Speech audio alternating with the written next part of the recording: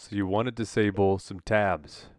I bet you've got a scene that looks kind of like this. You've got some tabs inside of a tab container, and you've been clicking on this tab container, looking over here for an option that you can reference in your code or something that you can do to disable the tabs. The only thing that really does anything over here is this tabs visible button, but that makes all the tabs visible or invisible. So what the heck do we do here? Well, let's go into the script and uh, I will show you exactly what you can do. Uh, the first thing you need to do is reference your tab container. So that's what I've done up here. Uh, if you want to reference it with a type like I have, you can grab it, hold down control. It'll give you a nice type right there. I like to do camel case, so we're going to do that.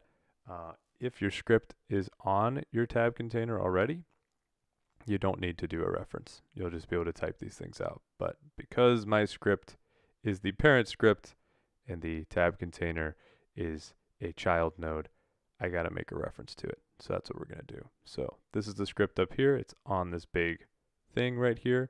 Uh, and we're just going to type it in. Tab container dot. Uh, let's see here. What do we want to do here? We want to set the uh, tab to be disabled. Uh, and this is a function that I didn't really realize existed until I look at the documentation. I did a Google search, didn't exist. You probably did the same thing and maybe you found this video. But uh, this is how you disable tabs. Set tab disabled. Uh, you reference it based on the index. So it works the same as an array with 0, 1, 2. I'm going to disable my fees tab 0, 1, 2, 3, 4, 5, 6. You can reference any of them the way that you would reference an array. So my fee is a 1, and then it's asking me for a boolean. True or false. So set disabled, yes or no. We want yes, please set it to disabled. And now if we go into the game, we go over to this panel, we can see the fees tab has been disabled. But what if you're like, dude, that's cool.